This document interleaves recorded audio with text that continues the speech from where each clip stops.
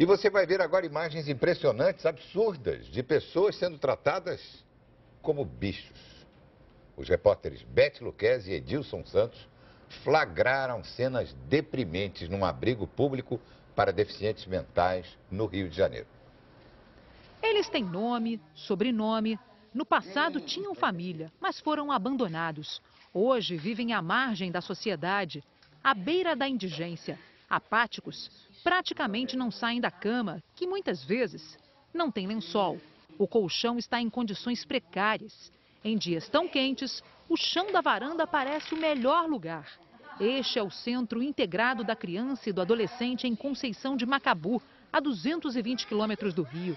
Mas aqui vivem 90 homens com deficiência mental, que têm entre 24 e 48 anos. O abrigo é responsabilidade do governo do estado. Nos cômodos, o mau cheiro é muito forte e os casos de sarna são frequentes. Não há chuveiros, banhos, somente com baldes. Há nove meses, a Defensoria Pública recebeu denúncias e notificou os responsáveis. Uma cama ao lado da outra. Nesta casa, a superlotação preocupa os defensores públicos. Os pacientes ocupam a sala.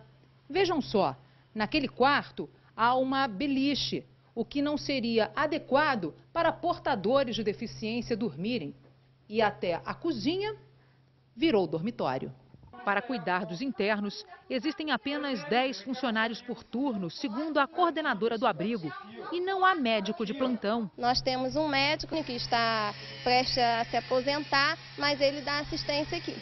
De acordo com o governo do estado, existe um projeto de reforma da unidade. O projeto está pronto, finalizado em dezembro do ano passado, com orçamento próprio o orçamento pronto, já está sobre a mesa do, do, do PESão, do secretário de obras, que é o vice-governador, para ser licitada essa obra. As pessoas que estão aqui ficam esquecidas. E o que eu vejo, assim, como se a decadência de um estabelecimento tivesse passado para a decadência da vida dessas pessoas. E hoje a gente tem uma situação, assim, de muito abandono.